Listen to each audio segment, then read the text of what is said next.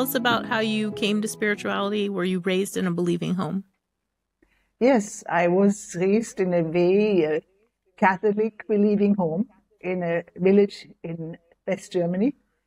And uh, it was, uh, there was a deep belief and there was a, a, a rituals about Mother Mary. We used to pray the rosary and all, and we would set up the altar. In the whole month of May, there was sitting together as a family and praying and decorating and all. So that was my background. But then also, I must say, already as a very young child, I had a very deep link with nature. I felt one with nature, with the fields, with the flowers, with the trees, and the river. There was unity with it, which I fell out coming into school. Where I was told that a child which goes to school doesn't talk to, to fish and to the bird anymore. The rational impact came in. And then later on, when I was 14, I um, lost my grandfather. And along with it, the deep belief, my belief was so, so strong that I was convinced that I wanted to become a missionary doctor in India or in Africa. And that all fell apart with the age of 14. Yeah. So, um, how did that fall apart? Talk, talk I was that. this my whole notion what life is about and what God God is about was that um, there is a caring God, there is a loving God, and He will not do great harm. He will not allow that anything happens to me. And since I was very, uh, very deeply linked with my grandfather, the way he died and all, I was so frustrated. I was so shocked. I felt that there, there can't be a, do- a, a, a God who is so uncaring. And I made God re- responsible for all the misery in the world. And I ch- just chucked him out of my life. Wait, how did your grandfather die? Uh, well, I mean, he uh, was, uh, in spite of that, he was in the neighboring village, and I, I was supposed to uh, look after him. And I mean, he was more or less okay, but he, he died in one night, and it took about three days till he was found. And it was really shocking for us. And of course, there was a lot of guilt of not having looked looked after him, and it, it took quite some some some time to separate that guilt and that sort of notion of making God responsible for everything. Yeah. So you chuck him out at 14, um, which sounds like something we do as 14 year olds. I'm going to make a complete change. Uh, I'm, I'm sort of going to walk away from things that I grew up grew up with. Um, I only say that because at 14 I joined the Mormon church, and for my family that was really like upsetting, and it felt like I was walking away from them in a way. Um, so I feel like at 14 we we make these changes, right? Um, yeah. And then we look backwards and we say, oh,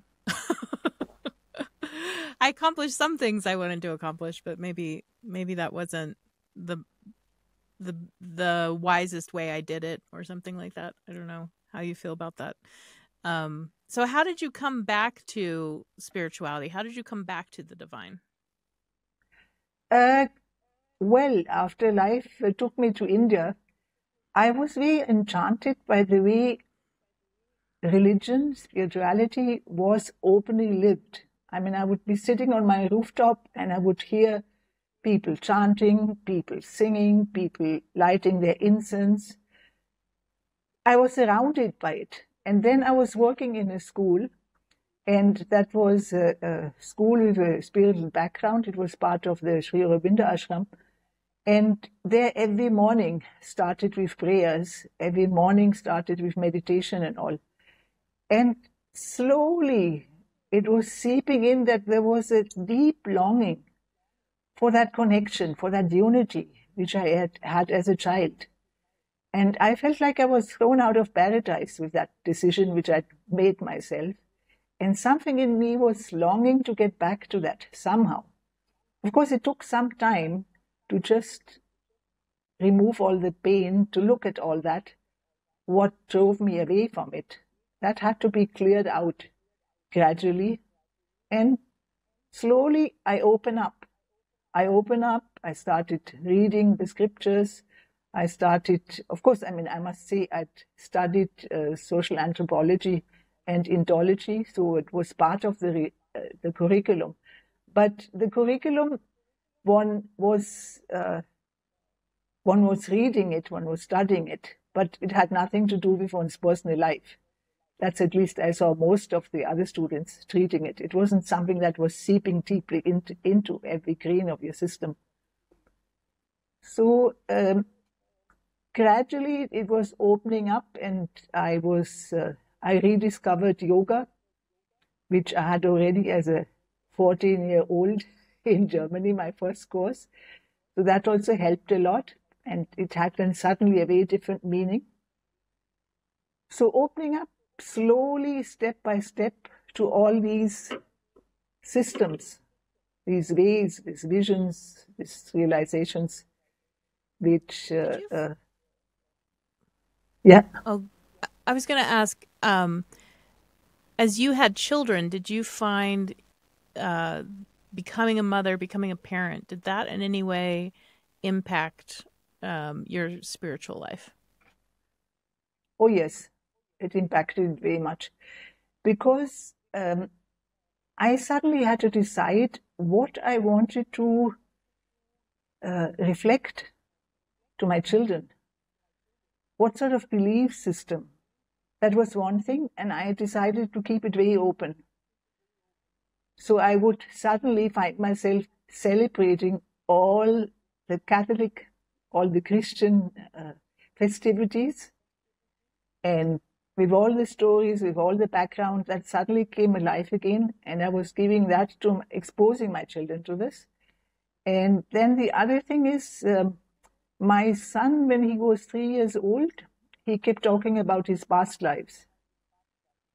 And that was surely, and in the school I was teaching, I was um, encountered a number of three years old who remembered their past life. And for me, it was that time just the belief system. I felt I didn't give, uh, I felt it's just stuff which kids talk, but it wasn't like that. And then, of course, um, along with that, I would slide into into uh, past life experiences going somewhere, and suddenly a whole life would unfold in front of me. So that was setting into motion as well. That's really interesting. I don't think I knew that. Um, what was that experience the first time? How did that happen? That you would have a past life unfolded for you? Um, I was um, accompanying my husband with a group of students in Vrindavan. Uh, Vrindavan is an old uh, Krishna place. And um, we were walking down the street, and suddenly a door opened, and a stream of widows walked out, all dressed in white. And I stood there, I froze.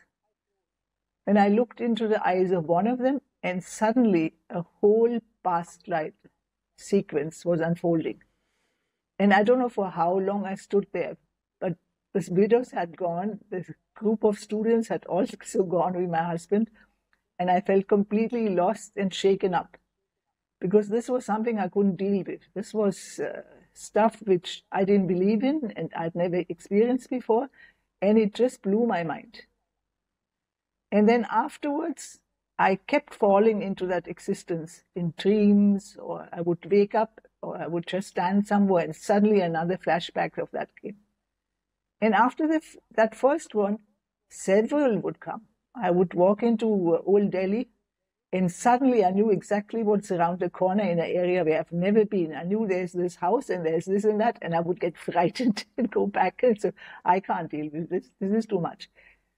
A sort of mental frame, that logical frame that holds us just blew completely. So, what helped you reconcile those visions with with a new frame? It took a while. I remember the kids who were talking so playfully about it. And I started realizing there must be something.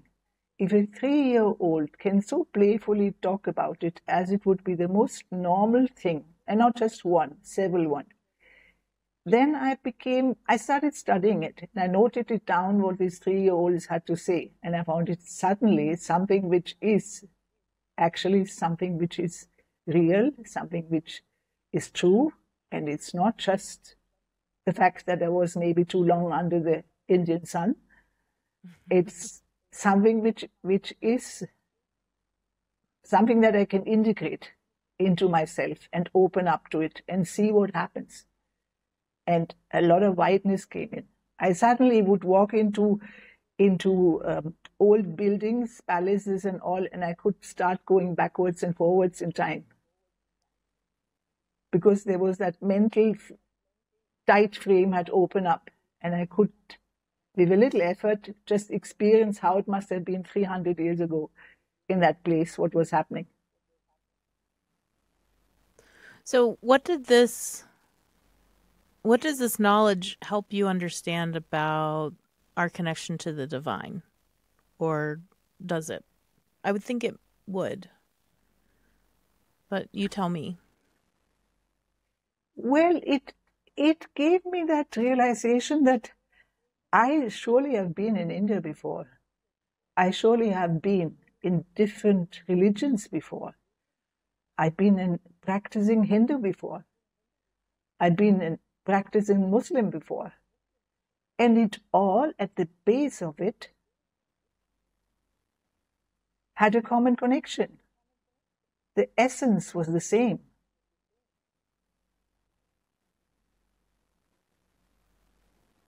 So there's this idea that you, all of us have continued on,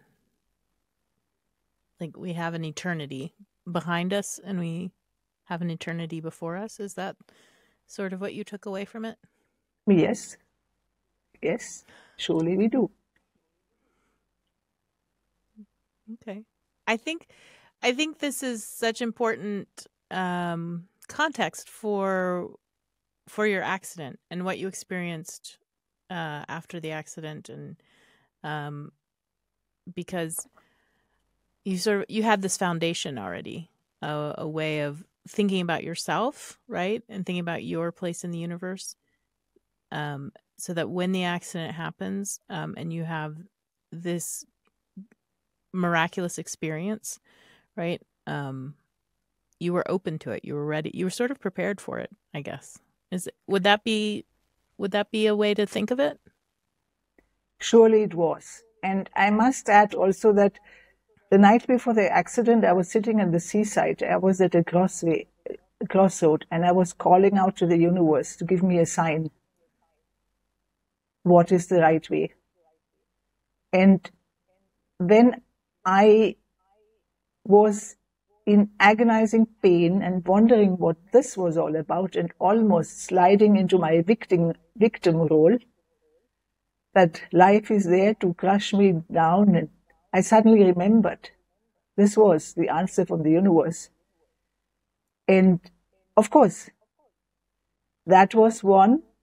And the fact that I was riding on this very busy highway in South India and I was suddenly hit and I was blown off from my three wheeler and was shooting up into the air and I was landing not on the road, on the busy highway. I was landing in the divine mother's lap,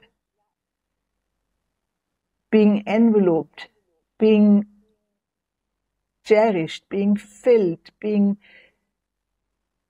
flooded. Every fiber, every muscle, every organ was just flooded with this incredible love which I had never experienced before.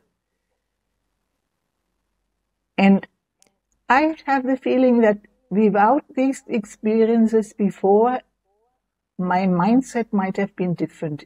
I might have just shut out thing and got into fear and panic and whatever and couldn't open up to that. Yeah. So it was that background is important. I mean, it all happens in a context and in a state one one is at that moment of one, one's life. So, could you set up for us um, more explicitly the accident? We know you're on a highway. We know you're riding on a three wheeler. Um, but where are you? Who are you with? Um, what were you? Where were you headed?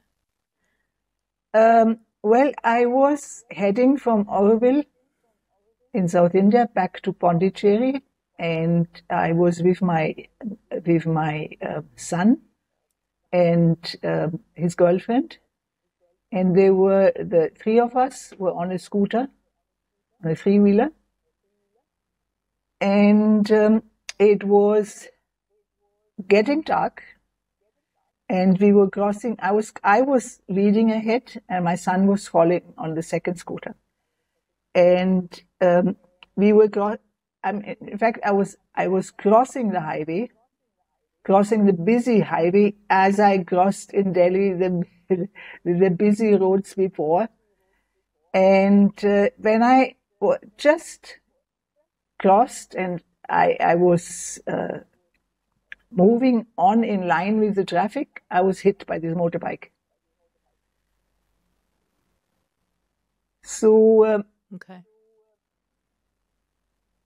it uh, was something which which had an incredible setting because it was just it was just the time in the when the sun was going down, and in India that goes very fast and everyone was switching on their light, almost like setting the stage for a miracle to unfold.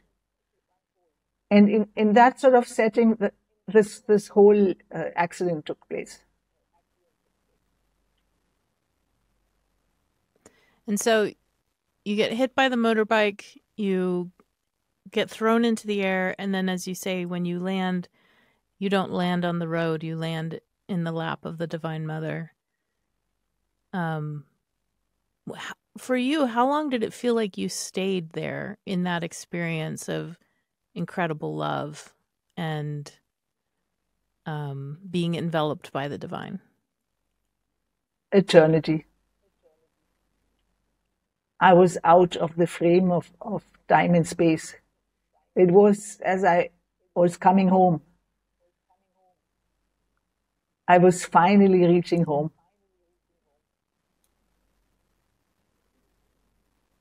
And then to wake up not in the lap of the Divine Mother, what was that like? That was agony because my uh, son, who had meanwhile shifted me into a three wheeler to take me to the hospital, he was calling out.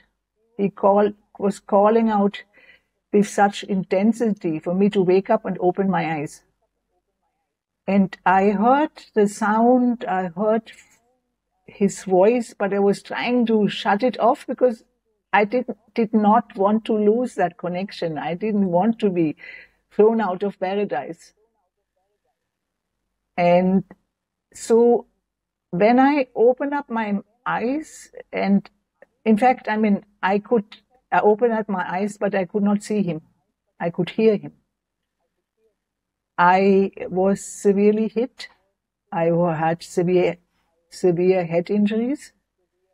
I'd broken my neck and I knew that there was something with my neck and I could barely speak, but I gathered all my strength to tell him that the scooter fellow has to slow down because they were rushing to the hospital and I, I, was on these bumpy roads. I was my neck was shaken, and um, my son was was holding me then tighter, and his whole shirt and everything. I was bleeding profusely, profusely, and um, I the pain was so severe that I was very tempted to pass out and go back.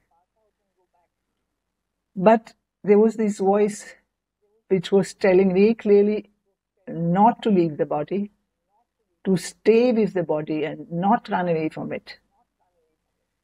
And whenever, I mean, the, the, the ride to the hospital seemed to be very long and I was kept being tempted to pass out again. And every time I was tempted, the voice came in and said, you need to stay with the body. If you are not staying with the body, you're going to lose it. So this carried on even after I'd been to the hospital and they were starting uh, to figure out what happened and all. And I kept asking the doctors, okay, have you figured it out? Can, can I, can I pass out now while I can't take the pain anymore? I can't take it more. I can't take it more. And they said, yes, yes, you go to sleep. But the voice would come and say, do not leave the body. Stay with the body. Go deeper. Go deeper. And there already my first lesson came because I was, um, I could just, I mean, I learned that from my meditation, I could just be out, out there, up in the cloud and run away from the office, uh, office, I'm saying, from the body, distracting myself. But it said very clearly, go deeper. You need to go deeper into the body. And that I had not learned by then, how to go deeper and deeper and deeper to find a place where it was bearable, bearable to be. Yeah, that's interesting. You're in all of this pain and your body's been heavily traumatized. So it might be really frightening to be told stay with the body, go deeper into the body. But it sounds like what you're saying is you went deeper into the body and found and found a place of rest. Is that right? I found a place of rest. It took a long time because it didn't work to begin with. Uh, it, I mean, it was a long stretch. It was not only to begin with. I mean, it took two days till I had my operation of the neck and they had to fit a plate and take bone mass from, from the hip to, to fit the chipped vertebrae. And I mean, it was, it was a very lengthy and, and very dangerous operation. And so this agony, the pains were even afterwards there. And it took me some time to learn how to go even deeper and even deeper. That, and I mean, find that place of rest or even go deeper into that dark chamber, which I later on called the dark chamber of the Divine Mother, the womb, the dark womb of the of the Divine Mother, where one comes very close to death. It appears to me that is the sort of final sort of um, landing place where we all reach in the end.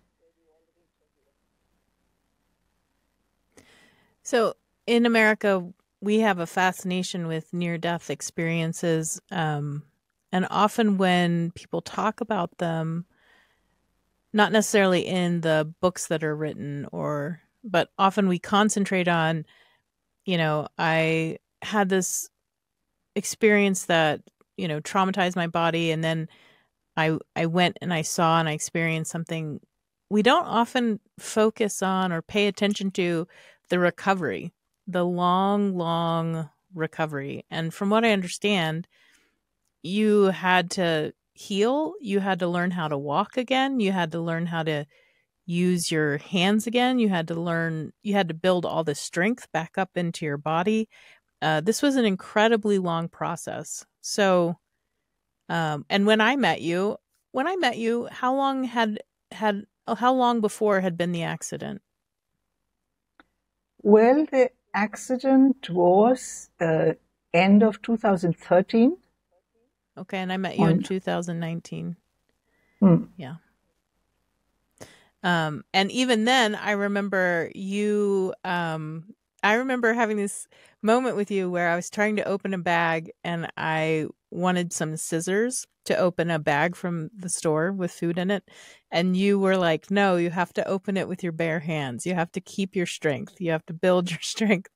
And that's, I think, the first time you actually mentioned your accident to me um, because I was trying to get the easy way out with the scissors. Um, but uh yeah, so even then, 6 years later, you were still like consciously thinking about your recovery. Um so let's talk a little bit about this recovery, um, what it meant for you, and uh, again, how it helped you understand those experiences right after the accident. Uh, well, as you said, it was a long, drawn process, and it was it was basically it, it was a pilgrimage. It was a pilgrimage within. It was a pilgrimage to find the core, to find the healer within. And in connection with that, there was always um, a sort of calling out for help because in the heal in the healing process there was often there was uh, one hit the bottom and it was just things were not moving anymore and it didn't look like I would be able to get out of the wheelchair. It didn't look like I would be able to walk again and something. And in that sort of process of developing the, the capacity to surrender brought in a very different dimension. Because before, I was always onto that sort of uh, framework of either or. Suddenly, there was this thing of the need of surrendering and being accepting what happened. If this is the way I'm going to be, if, if I'm going to live my life in a wheelchair, it is okay. I surrender to it. I accept it. I'll deal with it. I'll be okay with it. But at the same time, keeping that faith alive, calling out for the grace, calling out and seeing in a visualizing that I would be able to dance again, that I would be able to climb mountains again, to swim again. Having that capacity at the same time in that process of surrender. Because before it was, if I surrender, that means I'm sitting back and I trust God will do everything. And if it doesn't happen, then it's, uh, yes, it's his, his will. This whole different dimension was coming in. And it was following through in the entire um, sequence of what w- was happening. And in this sort of calling out and surrendering, there would be suddenly a new aspect coming in, a healer walking in, uh, who would help me to heal the trauma out of the body, to heal all these restrictions which had come into the body and the body would not open up, would not open up the, the hand, would not open up the capacity to stand on the legs because in the body something had to be healed and released and to act, be activated. So the whole relationship with the body changed. Relationship with uh, the healing process and what it all means. That's really interesting. Um, I think in America, we have these ideas about being warriors that are, I don't know, there's always this soldier war imagery in America. And listening to you talk about surrender, but also talk about uh, pushing forward and, and working. Um, it sort of flies in the fla- it flies into the face of our cultural ideas about how you triumph. Um and i appreciate that. I appreciate what you're talking about. I also have a question about well you know let, oh, let me say something on this because i have that very much ingrained into my german system. Okay. Because i've been into into sports into competitions as a 15, 16, 17 year old, I was completely into uh, sport and winning and all and, and going, pushing the body, pushing the body over the limits. When I was trying to do this with my body, it would break and it would backfire completely. I had to change the attitude in which I was dealing with my body. I had to love my body in spite of hating it for being so miserable, so being uh, so in, incapable. I had to deal the fa- deal with the fact what it means to be an invalid, to be somebody who cannot uh, live out of the strength of that body anymore.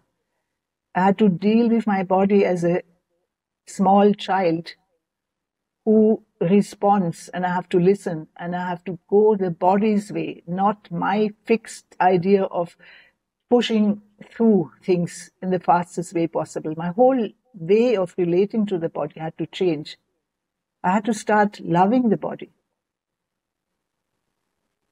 It actually reminds me about learning another language and um and you speak many. Um so this this uh I don't know if you're going to relate to this experience, but uh for a while I lived in France and I spoke French and my French was such that and I was really proud of my French at this point. I was really proud about this ability of I don't know the word for what I need to say, but I can describe all the things around the word and then hopefully I get to I get to comprehension and I get to communication with another person.